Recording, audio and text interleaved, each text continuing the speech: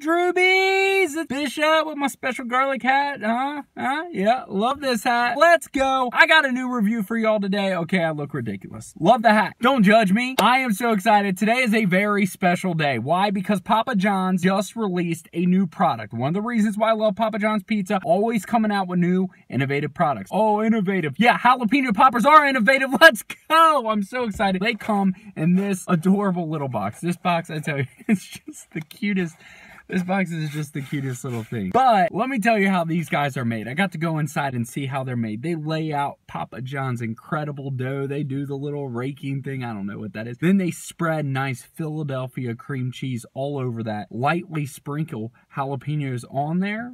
Fold it up, give it the old little chopperoo, put it in the oven, and out they pop for five bucks. So I I said this before with their chicken poppers. I think they should be called jalapeno papas, like Papa John, like Papa you know what I'm saying? Like jalapeno papas. Here they are, complimentary ranch. Oh, one, let's see, one, two. One minute, 37 seconds later. Eight. So eight for five bucks. Pretty good. I think they're like 60 calories each one, give or take. And that's obviously just a lot of the dough and the cream cheese. But these look good. Now, just from a visual, I'm a big visual guy. They look like they're going to be spicy, especially because of it looks like there's like two or three jalapenos per bite. So if you're one of those people who are like jalapeno papas, oh, I just don't like spicy. Is it just little jalapeno chunks. These are probably not for you, bro. But if you are a give me that jalapeno, hold the cream cheese and bread, you know what I'm saying?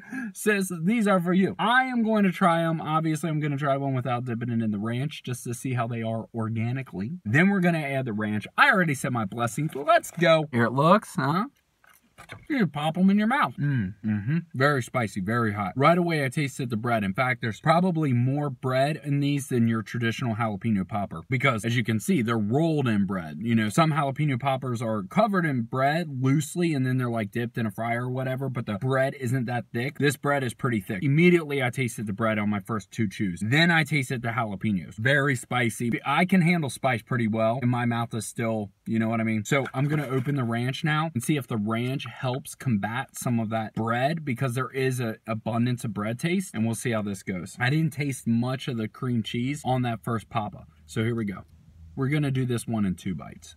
Mm, mm. Papa. Yeah, it's very good. I actually recommend the ranch dressing. That really does combat the bread. For five bucks though, eight of these will fill you up because of the abundance of bread. But if you're someone who's like, hey, I actually like cream cheese more than the jalapenos and more than the bread when I have papas, my friend. I don't know if these are for you. They are very spicy. You taste a lot of the dough. A nice ranch or their special garlic will definitely, in my opinion, help combat that bread taste. Very good. So I'm a jalapeno popper guy. You probably can't tell, but these bite. I mean, these have a good bite to them. There's a reason why the word jalapeno is first in the poppers. It's not poppers of jalapeno or poppers with some jalapeno. It's jalapeno. Oh, by the way, poppers. That's my review. I like them. Love you guys. Thank you so much for watching. Let's go jalapeno papas.